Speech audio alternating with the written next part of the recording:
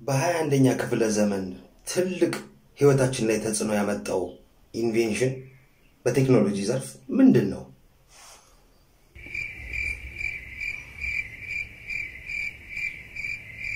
እስቲ እስክንመለስ ድረስ እናንተ የሚመስላችሁን comment section ውስጥ እስቲ ጻፉት።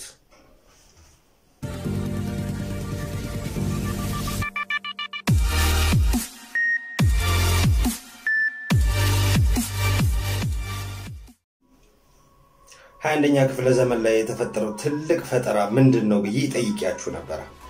እንግዲህ ብዙ ሰው ኮምፒውተር ሚል ይኖራል። ዊንዶውስ ብሎ የጻፈ ሊኖርም ይችላል። አይፎን፣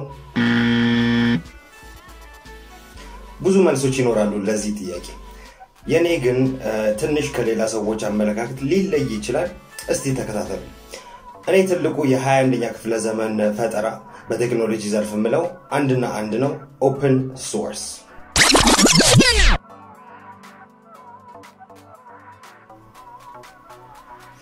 ጄፒ open source ምንድን ነው የሚሉ ሰዎችም ይኖራሉ።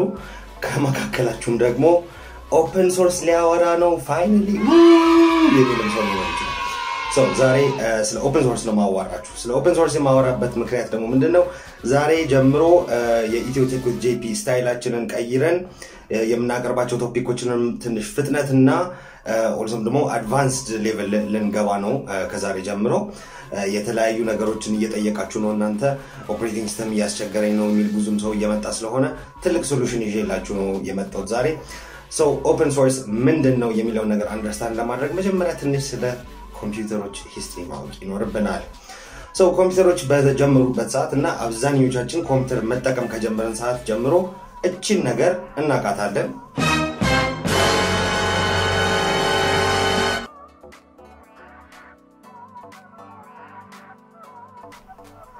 ዊንዶውዝ ዊንዶውዝ እንግዲህ ብዙ ሰው የመጀመሪያ graphical interface ወይንም በ mouse እና በተለያዩ peripheral device ኦች የምንጠቀመው operating system ሊመስላችሁ ይችላል። ነገር ግን ዊንዶውዝ የተሰረቀ operating system ነው።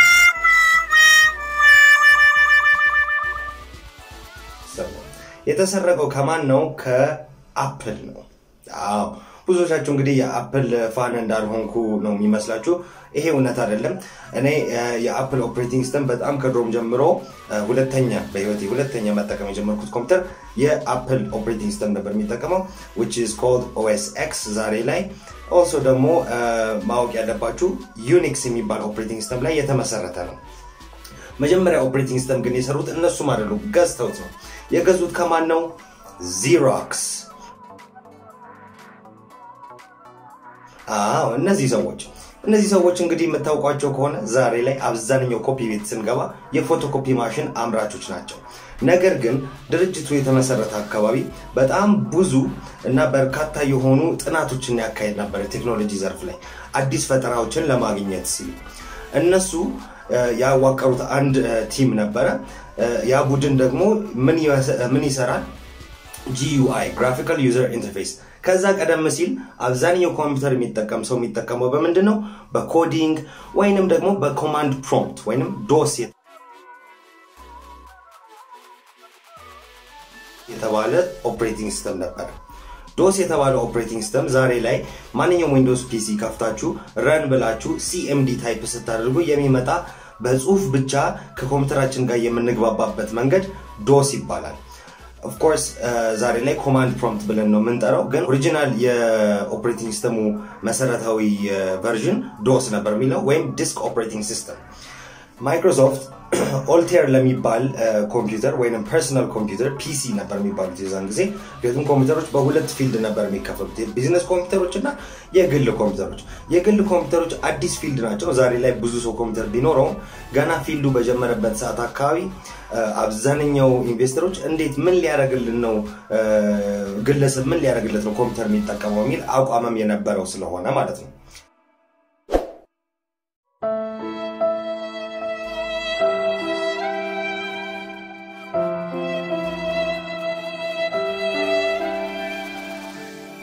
So of course ስቲቭ ጆብስ ይሄንን operating system ከ Xerox ገዝቶት የሚያሻሽለውን አሻሽሎ የማያስፈልገውን አስወጥቶ operating system ኡን ለመልቀቅ ተዘጋጀ።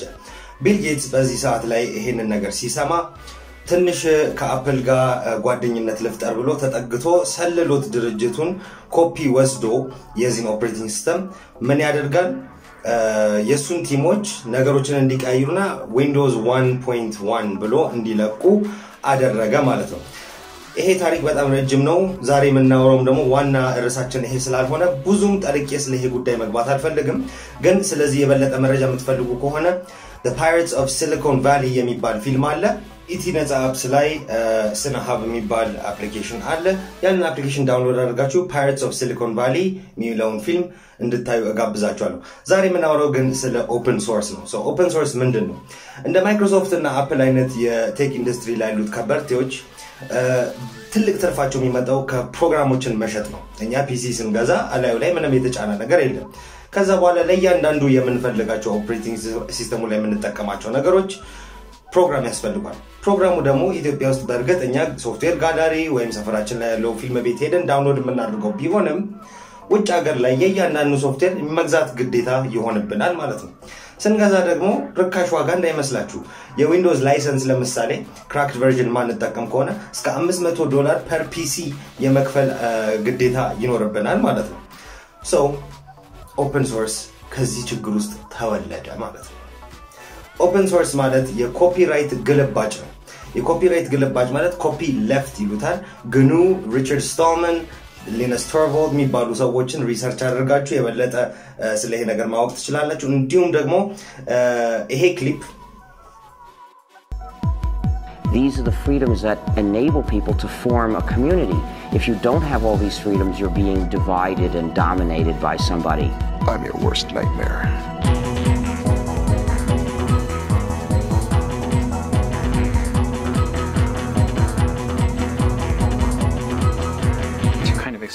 Linux is, you have to explain what an operating system is. Free software refers not to price, but to freedom. So think of free speech, not free beer. You should at least look for alternatives to Microsoft, and maybe Microsoft isn't the American dream after all. Does that seem somewhat communist? Absolute nonsense. It makes me really angry when people do that. Calm down. Say mm. Karl Marx did not invent helping your neighbor. We use a technique called copyleft. The idea of copyleft is that it's copyright flipped over. Whoever gets it from you also gets the freedom to cooperate with other people. With proprietary software, support is a monopoly, so no wonder the support is so bad. The GPL is really unique in that it's not just a license, it's a whole philosophy. Hi, we're the GNU Stallmans, and this is the free software song. Well, you well, to know you.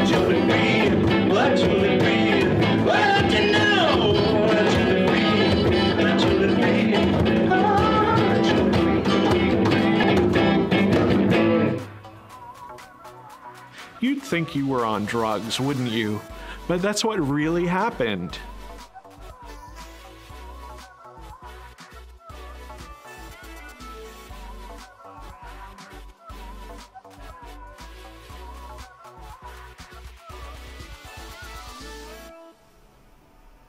ሬቮሉሽንስ ኦኤስ ከሚባል ዶኪሜንትሪ ወይም ዶኪ ድራማ የወጣ ነው እና ይሄ ደግሞ copyright free የሆነ ስለሆነ የዚህን link ከታች description ውስጥ አድርጌላችኋለሁ። ተመልከቱት። ይህንን documentary በደንብ understand ታደርጉታላችሁ። open source in a nutshell ምንድን ነው? open source በአጭሩ እንዴት አድርገን መግለጽ እንችላለን? Okay open source ማለት Windows አንድ ፕሮግራም develop ለማድረግ ሲፈልግ ወይንም ማይክሮሶፍት ልበል keep on calling Windows ማይክሮሶፍት አንድ application ወይም ፕሮግራም develop ማድረግ ሲፈልግ ምን ያደርጋል? programmer ኦችን፣ developer ኦችን፣ graphical artist ኦችን ይቀጥራል ማለት ነው። እነዚህን ከቀጠረ በኋላ እነዚህ ሰዎች በቅጥር ደሞዝ develop ያደርጋሉ። ግን develop የሚያደርጉት የሚያበለጽጉት idea የሚፈጥሩት ነገር በጠቅላላ የማይክሮሶፍት ባለቤትነት ይሆናል ማለት ነው። ማይክሮሶፍት አንዴ እነዚህን ሰዎች ደሞዝ ከፍሎ ለብዙ አመታቶች በዛ ሶፍትዌር ጥቅምና profit ሲያገኝ ይውላል ማለት ነው። ነገር ግን open source ምንድን ነው? open source ምንም ግንኙነት የሌላቸው በየዓለሙ የተዘረገፉ programmer ኦች በነፃ coding ይሰሩና አንድ ፕሮግራም ይሰራሉ። ከሰሩ በኋላ upload ያደርጉታል። upload ሲያደርጉት እናንተም coder ከሆናችሁ ወይም programmer ከሆናችሁ ፕሮግራሙን run በምታደርጉበት ሰዓት error ካገኛችሁ ያንን error ራሳችሁ ቀርፋችሁ የተስተካከለውን source ጋር upload አድርጋችሁ ፕሮግራሙን ታሻሽላላችሁ ማለት ነው። open source ዛሬ ላይ በፍጥነት በጥራት እንዲሁም ደግሞ በተጠቃሚ ከማይክሮሶፍት እና proprietary የሚባሉ ሶፍትዌሮች ይበልጣል።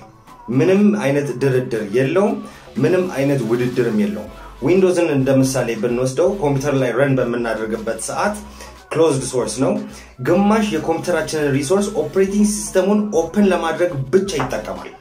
የ CPU ኣችን ግማሽ እንዲሁም ደግሞ የ RAM ኣችን ግማሽ already operating ዝም ብሎ ቁጭ ብሎ desktop ላይ ስለተቀመጠ እየተጠቀመ ነው። ነገር ግን የ Linux version ኦችን ብናይ Linux open source የሆነ operating system ነው። Linux ን ብንወስድ የሚጠቀመው resource zero percent ነው። idle ላይ ሲቀመጥ desktop ላይ ስትቀመጥ ምንም አይነት resource እየተጠቀምክ አይደለም። ነገር ግን አንድ ፕሮግራም ስትከፍት ለዛ ፕሮግራም ውስን የሆነ allocate የተደረገ resource አሉ። ከዛ በላይ መጠቀም አይችልም። ለዛ ሶፍትዌር ምን ያህል እንደሚያስፈልገው already C compiler ኡ decide ያደርግና application ኑ smoothly run እንዲያደርግ ያደርጋል። ከዚህ በኋላ ኢትዮቴክ ጄፒ ላይ እንዴት የተለያዩ open source software ኦችን መጠቀም እንደምንችል እንዲሁም ደግሞ እንዴት ኮምፒውተራችን ላይ Linux እና የተለያዩ operating system ኦች መጫን እንደምንችል በ dual boot ም በ full format እናያለን። ይሄ ቪዲዮ ከተመቻችሁ of course like እና subscribe ማድረግ እንዳትረሱ። ምጨምርላችሁ ነገሮች ግን አሉ እዚህ ጋር Windows ለረጅም ዓመት ብቸኛ operating system ሆኖ ስንጠቀመው ነበረ። ኢትዮጵያ ውስጥ ብዙ ተጠቃሚዎች አሉት። በአማርኛ ግን የሰሩልን ቅርብ ጊዜ ነው። እኔ እንደውም ትዝ ይለኛል የዛሬ 15 ዓመት አማርኛ version of Windows መግዛት የምትፈልጉ ከሆነ አምስት ሺህ ብር ክፈሉ ነበር የዛሬ 15 ዓመት እንግዲህ አምስት ሺህ ብር ማለት የዛሬ 50 ሺህ ብር ብለን ልናስበው እንችላለን። እንደዚህ አይነት ገንዘብ የሚጠይቁ ነው እነዚህ ኩባንያዎች ማለት ነው። ነገር ግን የዛን ሰዓት እኔ ስጠቀም የነበረው Red Hat Linux የሚባል version ነበረ። እነሱ already ገና installation ኑ ላይ ቋንቋ አማራጮች ውስጥ አማርኛ ነበረ። እነዚህ open source የተባሉ community ዎች በነገራችን ላይ ፍልስፍናም ነው። ፍልስፍናው ምንድን ነው? እኔ አንድ ነገር ከሰራው ሰው ነኝ እና ለሰው ልጅ የኔ እውቀት ማበርከት አለብኝ የሚል አቋም ነው ያለው የ open source philosophy። open source ደግሞ በጣም አለማችንን እየቀየረ ነው። ዛሬ open source ላይ የተመሰረተ ነገር የማንጠቀምበት ቀን አያልፍም። ለምሳሌ ያህል ዛሬ ላይ ስማርትፎኖች በጣም ኢንዱስትሪው እያደገ እናየዋለን። እያደገ ያለበት ምክንያት ምንድን ነው? በ open source ነው የተመሰረቱት። ለምሳሌ Android የዓለም አንደኛ የሞባይል device operating system ሲሆን ሁሉም Android የተመሰረተው Linux kernel ላይ ነው። አሁኑኑ ይህንን ቪዲዮ እያያችሁ ያላችሁት open source operating system ላይ ነው። ከዛ ባሻገር አፍሪካ ሀገሮች አብዛኛው credit card እና እንደዚህ ኦንላይን ክፍያ መፈጸሚያ መንገዶች የላቸውም። ነገር ግን ሶፍትዌር መግዛት እንፈልጋለን። መግዛት አንችልም። open source ግን free ሆኖ እንደገናም ደግሞ የተሻለ ሆኖ እንዲሁም ደግሞ በኛ በተለያዩ አፍሪካ ቋንቋዎች የተሰራ የኮምፒውተር operating system በነፃ ምንም አይነት ክፍያ የለውም።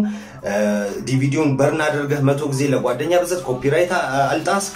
open source እንግዲህ በጣም ህይወታችንን የለወጠ ነገር ነው። ኢንተርኔትን ለምሳሌ ብንወስድ ኢንተርኔት ላይ ዛሬ የምናያቸው ድረገጾች almost በጠቅላላ ማለት እንችላለን። ምክንያቱም 86 percent የዓለም server ሮች በጠቅላላ Ubuntu የሚባል የ Linux version ነው የሚጠቀሙት። የሚቀጥለው episode ላይ Linux ምንድን ነው፣ Ubuntu ምንድን ነው፣ እነዚህ ነገሮች እናያለን። ምክንያቱም አንዳንድ ጊዜ Linux ሲባል Ubuntu አይደል እንዴ Linux የሚል አቋም ስላለ እነዚህን ነገሮችን የምናይበት ይሆናል። ይሄ episode ተመችቷችኋል ብዬ አስባለሁ። ስለ open source የበለጠ ማወቅ የምትፈልጉ ከሆነ Revolution OS የሚባለውን documentary ማየት እንዳትዘነጉ። ከታች link ኩን description ውስጥ አስቀምጥላችኋለሁ። መልካም ቀን፣ መልካም ቅዳሜና እሁድ እመኝላችኋለሁ። እስከሚቀጥለው መገናኛ ጊዜያችን ደግሞ ጥያቄዎቻችሁን በ comment ET ነጻ apps ላይ ደግሞ እንነጋገራለን።